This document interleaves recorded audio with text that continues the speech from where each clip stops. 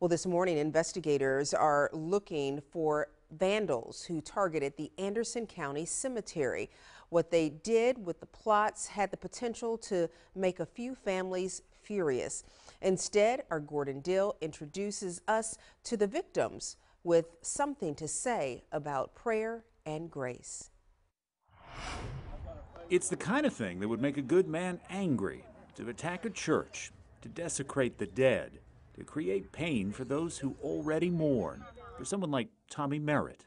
This is part of my family plot. There's some here and there's some, really, it's all over here. His family is buried here at a Baptist church in Powdersville, where stones are toppled and markers painted. Same thing for the family of Bill Young.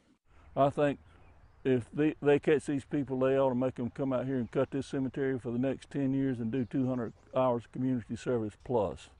The Anderson County Sheriff's Office is looking for those vandals now. You've likely noticed what's especially inflammatory here is what some of the graffiti says, using the words that have galvanized protests to victimize the innocent.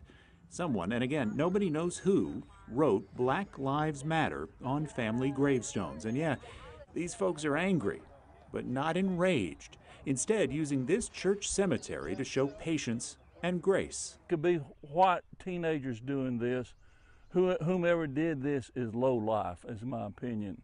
And if they don't like that, they can call me and we'll discuss that. Our country is in a mess right now, and I think it's so misunderstood. I think each side, each side is so misunderstood, and to be honest with you, I think this. I don't know. I don't think the people that's in the Black Lives Matter movement or whatever. I really don't think they done this.